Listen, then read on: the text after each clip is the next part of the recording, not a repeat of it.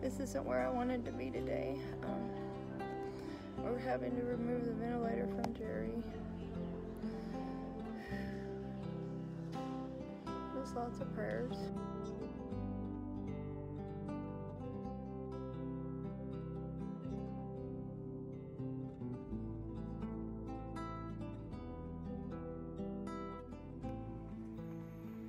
Wake up.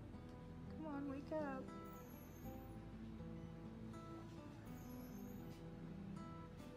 Thank you so much for taking care of my little girl for me all these years.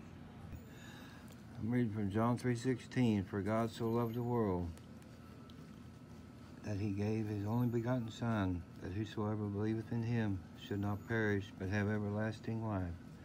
For God sent not his Son into the world to condemn the world, but to save the world through him that might be saved.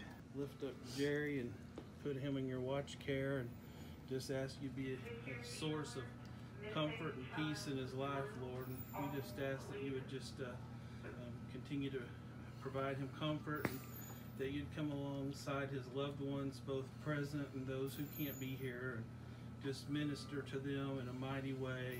Lord, just uh, strengthen us with your love.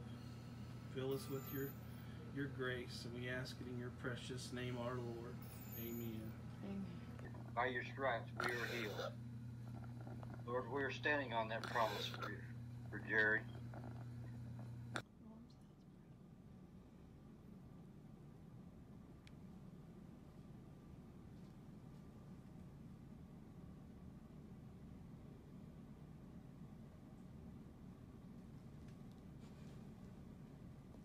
Fifty-nine.